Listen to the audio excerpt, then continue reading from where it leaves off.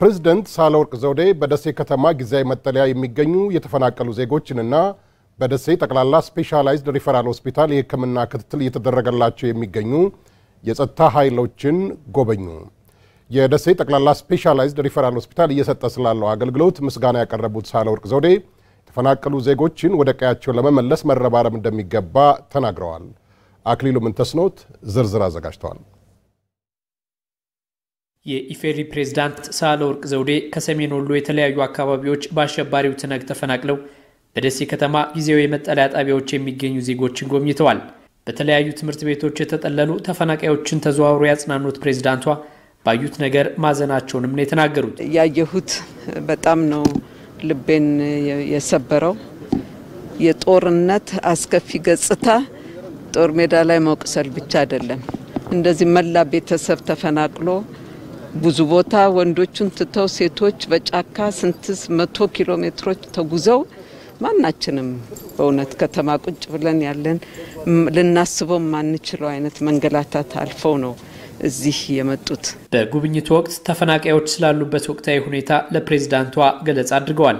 የዕለት ድጋፍ ከማድረግ ባለፈ ወደ ቀያቸው በሚመለሱበት ሁኔታ ላይ መስራት እንደሚገባ ነው ፕሬዝዳንት ሳህለወርቅ የተናገሩት። በአስቸኳይ ወደ ቀያቸው የሚመለሱበት መሆን አለበት እንጂ ተፈናቃይ አንድ ቦታ ተተክሎ እንዲቆይ የሚደረግ ነገር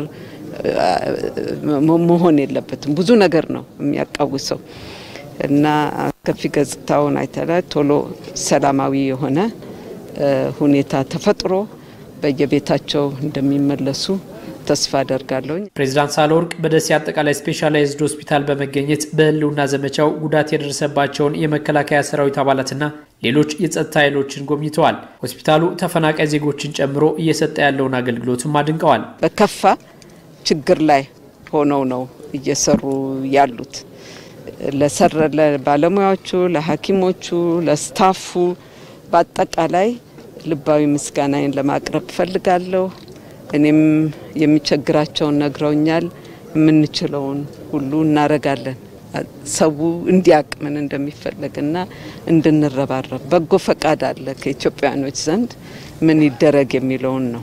የደሴ አጠቃላይ ስፔሻላይዝድ ሆስፒታል ስራ አስኪያጅ ዶክተር ሃይማኖት አየለ ሆስፒታሉ አቅሙን አሟጦ እየሰራ መሆኑን ጠቅሰው የፕሬዝዳንቷ ጉብኝትም የሞራል ስንቅ ሆኖናል ነው ያሉት።